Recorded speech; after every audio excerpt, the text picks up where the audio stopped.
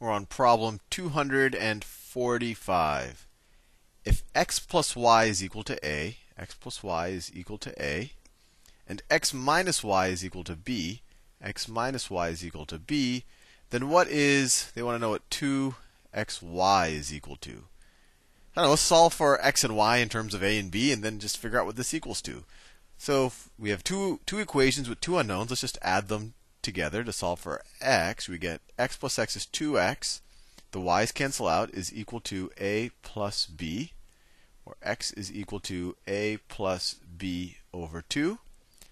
Now if we had if we had x plus y is equal to a, I just rewrote this. And now if we multiply both sides of this by negative 1, so we get minus x plus y is equal to minus b. And now add these two equations. So I'm essentially subtracting this equation from that one. I get that cancels out, so I get 2y is equal to a minus b, or y is equal to a minus b over 2. And now we can figure out what 2xy is equal to. 2xy is equal to 2 times a plus b over 2 times a minus b over 2. This 2 will cancel out with one of these 2's and we're left with, and what's a plus b times a minus b? It's a squared minus b squared over 2, which is choice A. Choice A. Problem 246. Let me do it in magenta. 246. A rectangular circuit board is to have width W inches. Let me draw it. So let's say it has width W inches, perimeter of P inches. Okay, so let me just put that at the side right here. Perimeter of P inches, and area of K square inches. Which of the following equations must be true? And so they want us to relate the this width to the area to the perimeter. Let me introduce another variable. Let's call this, I don't know, let's call this right here, let's call this the height of the circuit board. So now we can do some interesting things. If that's the height, then that's also the height. If that's the width, then this is also the width.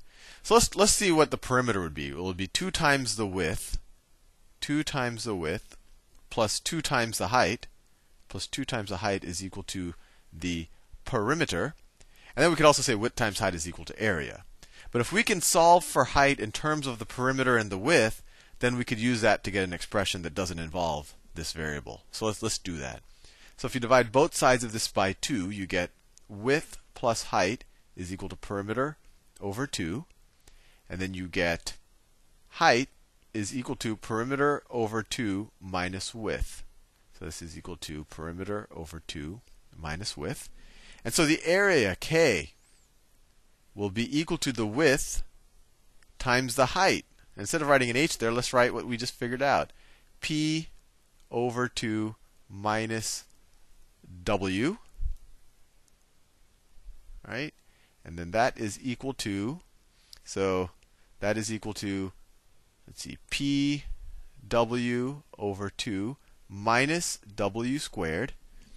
Let's see, when I look at the solution, they have a they don't have any fractions in it. So let's multiply both sides of the equation by 2. We can ignore this. K is equal to PW over 2 minus W squared.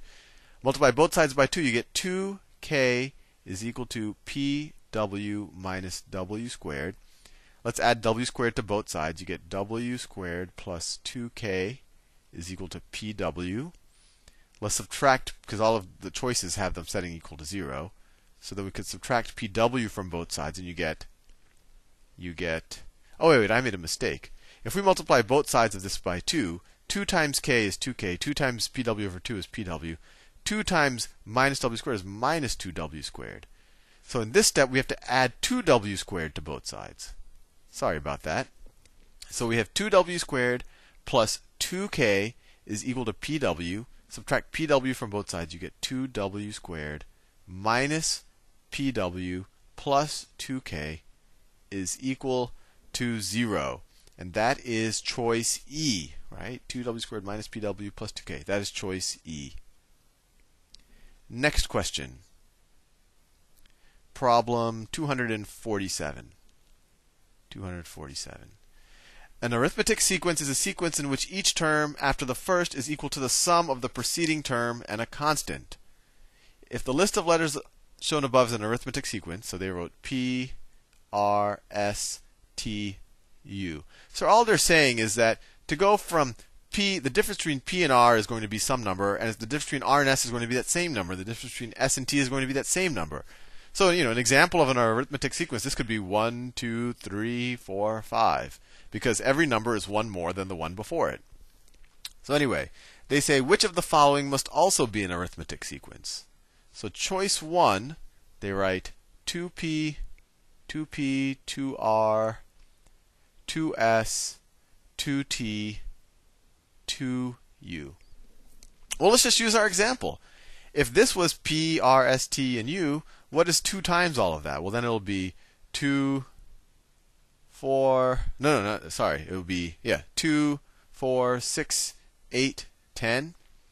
So now instead of incrementing by 1 every time, we're incrementing by 2 every time. But it's still an arithmetic sequence because the difference between each number and the number before it is a constant. It's always equal to 2. So choice number 1 is definitely an arithmetic sequence. Choice 2 choice two. And uh, if, and if you say, well, that worked for that example, how do I know it worked for all examples? So the other way to think about it is whatever the difference is between P and R, now you're going to have twice the difference between 2P and 2R, and twice the and whatever, and it was the same difference between R and S. Now you're going to have twice that distance between 2R and 2S. So here in our particular example went from 1 to 2, but it could have been something else. Okay, statement 2 says P minus 3 r minus 3. So they're just shifting everything. I don't even have to write them all, you know, all the way to u minus 3. So they just took all everything in this sequence and made them 3 less. But if if p minus if or if r minus p is equal to some number, r minus 3 minus p minus 3 is going to be the exact same thing. I can even prove that to you, right?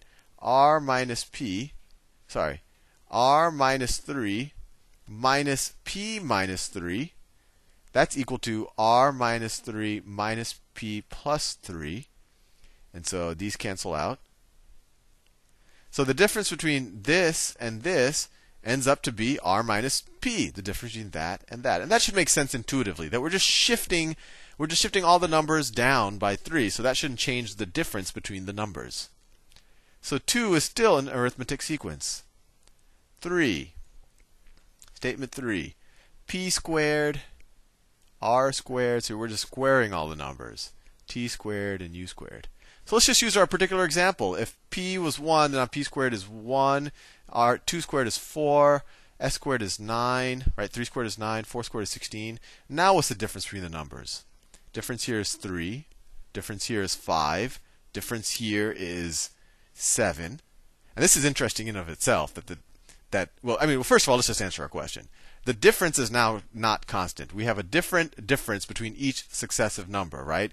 Uh, at the beginning, you know, here it's two, the difference is two every time. Here it's three, then it changes to five, then it changes to seven.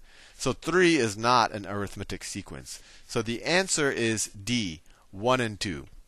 But I will, I will just, you know, this is something interesting, and if you've never experimented with it, this is something to look at. It, it, I've always been fascinated by the distance between the perfect squares increases by increasing odd numbers, which is just something to think about. Anyway, next problem. Next problem. Actually, I have two problems left out of all of the problem solving problems, so I'll save, instead of just doing one problem and going over time, let me do two of them in the next video. See you soon.